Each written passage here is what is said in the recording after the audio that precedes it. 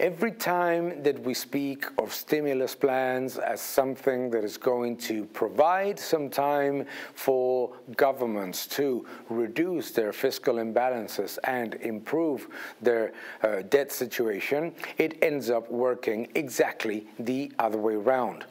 It is exceedingly important to understand why global debt has risen yet again. It had a very, very small improvement in the last couple of years because there was a bit of recovery in terms of growth. However, rate hikes have made many emerging economies lose their ability to repay their debt and become even more indebted because governments did not reduce their enormous deficit spending plans.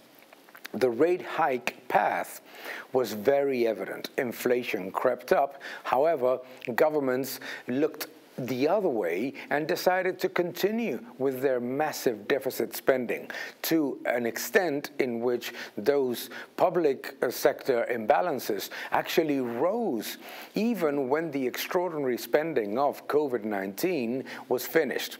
So the big problem right now is that on the one hand, governments continue to fuel inflation by spending more new units of currency in the system while central banks rise and increase rates, which means that they will have more difficulties, the governments, to repay their debts.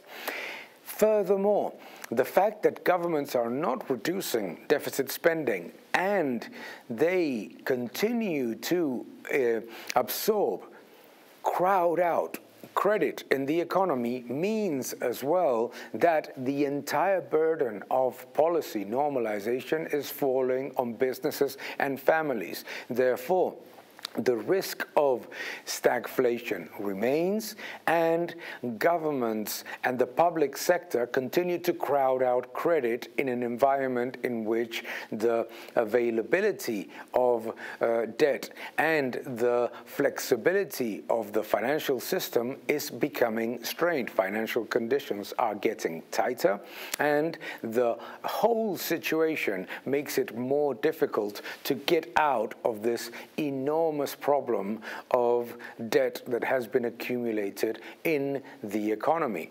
Debt to GDP may be reduced because of nominal GDP. Debt is calculated relative to nominal GDP, therefore inflated by the same inflation that is making all of us suffer. Ultimately, this is not a good combination. High inflation, persistent inflation, with high debt and governments that don't want to reduce their fiscal imbalances, a very dangerous path.